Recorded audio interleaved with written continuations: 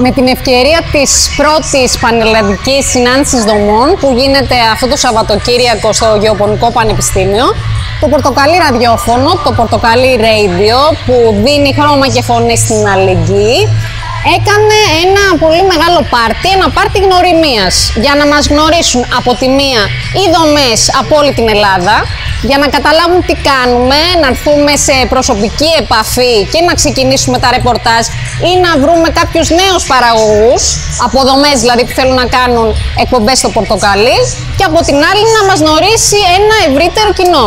Το κοινό που έχει ακούσει τι, ότι υπάρχει ένα πορτοκαλί ραδιόφωνο, αλλά δεν ξέρουν τι είναι.